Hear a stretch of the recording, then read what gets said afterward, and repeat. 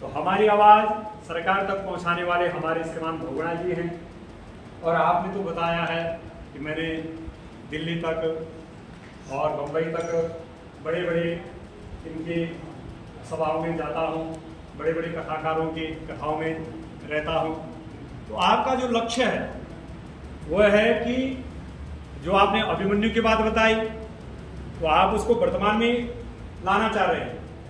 भाई, ये तो कथाओं की बात है, पुराणों की बात है। लेकिन वर्तमान में अभिमन्यु कौन है? तो आपने वो सुना दिया। आपने कहा कि गंगा गौमुख से निकली है और कथाएँ आई है कि राजा सवेर के साठ हज़ार पुत्रों को उतारा है। ये तो हमारे पुराणों की बात बात भी सत्य है, गलत बात नहीं है, वो यथार्थ बात है। लेकिन आप उसको आधुनिक में लाने चाह रहे हैं। तो आपने कहा कि गंगा गौमुख से निकलती है। तो हमारे बुज़ुर्ग ने ये बताया कि वहाँ गौ का मुख है और गौ के मुख से गंगा निकलती है। लेकिन आप उसको उसमें लाना चाह रहे हैं जो लोगों को आज समझाना है, क्योंकि आज सभी लोग बड़े पढ़े लिखे भी हो गए हैं। सोशल मीडिया से सभी जुड़े हुए हैं। लेकिन गौमुख अब वास्तविक देखा जाए तो गौ मने धरती होती है। गौ का वहाँ पे गाय से नहीं मतलब गौ मने धरती है। और धरती के मुख से मतलब जहाँ पे से पहला जो आ रहा है, उसी को गौमुख माना गया है। तो हमारे ऋषि मुनि तो इस ढंग से इसको गौमुख माना है। लेकिन भोगड़ा जी चाह हैं इसको को लोगों को समझाना है। कैसे समझाना फिर आपने कहा कि आ, हमारे शास्त्रों में कि गंगा है जो पवित्र करती है ये करता है सो करता है साठ हज़ार पुत्रों को उतार दिया। और आज वर्तमान में भोगड़ा जी ने कहा कि गंगा वास्तव में बावन प्रतिशत लोग गंगा जल को पी रहे हैं पीने का काम कर रहे हैं। सिक्सटी परसेंट है जो, साठ परसेंट है जो खेती हो रही है हमारे जैसे। तो यही तो काम है गंगा का। हमारे शास्त्रों में कहा है कि गंगा भुक्ति और मुक्ति देने वाली है।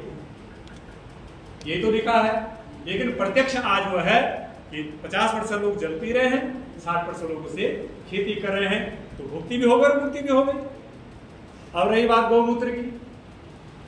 कि गौमूत्र के बारे में भोगणे जी ने बताया, हमारे शास्त्रों में लिखा कि यस्ति गस्ति गतम पापम देही तिष्ठते के प्राशनाय पंचगव्य निबंधने तो ऋषि ने ये व्यवस्था रखी है।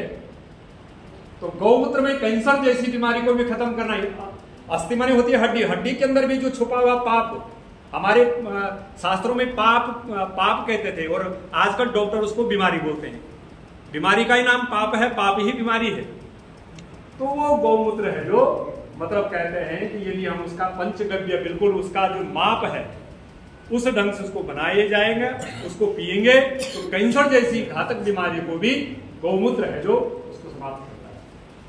ठीक है?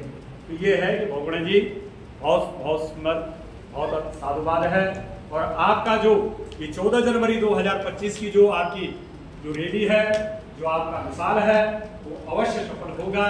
भगवान काशी विश्वनाथ से हम प्रार्थना करते हैं। विद्यालय परिवार ओर से आपका ये कार्य अवश्य होगा और हमारे संस्कृत विद्यालय का भी आपके माध्यम से प्रचार प्रसार होगा और इसी प्रचार प्रसार से हमारे विद्यालय में अगले वर्ष और छात्र आएँगे, छात्र वृद्धि होगी और सरकार तक संस्कृत के प्रति भी आप हमारे संस्कृत के लिए कुछ ज़रूर अवश्य करें। मैं आशा करता हूँ और आशा से नहीं, पूर्ण विश्वास रखता हूँ कि आप हमारी आवाज़ आगे तक ले जाएँगे। इसी के साथ ज़्यादा नहीं कहूँगा।